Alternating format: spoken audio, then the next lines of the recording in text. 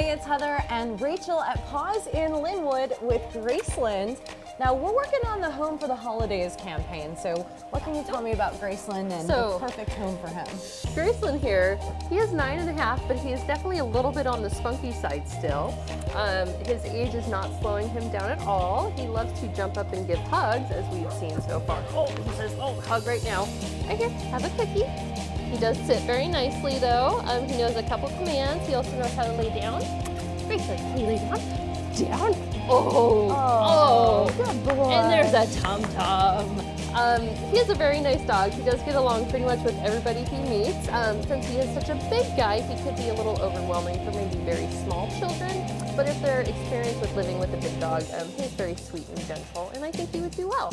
So most of us are looking to lose weight over the holidays, but if you want to gain about 102 pounds, Graceland might be your guy. Check him out at Paws in Lynnwood.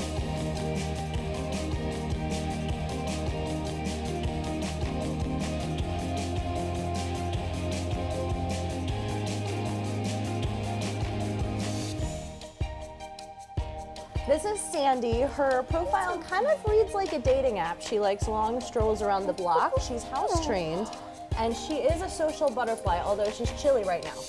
She's a little on the cold side. Um, she is actually from Texas, where unfortunately she spent five months in a shelter down there without finding an adopter. So the rescue group asked us if we could take her in, and we obliged. Um, she's about eight years old. She's a little bit more of a couch potato girl, so she's really looking for a nice, easygoing home where she's got a comfy bed to relax on and can just take life easy.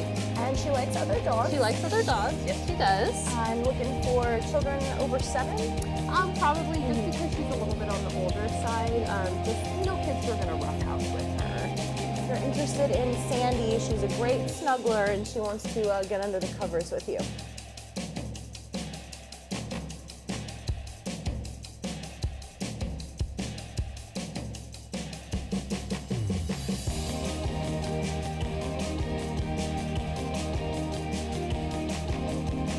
Rounding out our trifecta of adorable, we've got Maggie here now.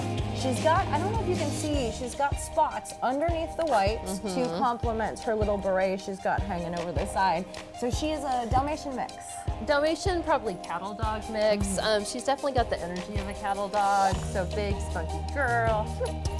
Um, she's about three years old. Um, like I said, she's high energy, so she would really love an active home that could wear her out. And she does love other dogs, so she would actually do really well in a home um, for someone who's looking for a playmate for their current doggy. Um, she loves to run and romp and wrestle, and she's all around a beautiful and fun girl to hang out with. So if you're looking for a dog that you can snuggle up with, keep warm with, and then take out to the do- Yep. dog park and meet some new friends, Maggie is your girl. She's a very good kisser. Uh, we were making out earlier. Uh, don't tell my dogs. She's here at Paws in Lynnwood wanting to go home with you for the holidays.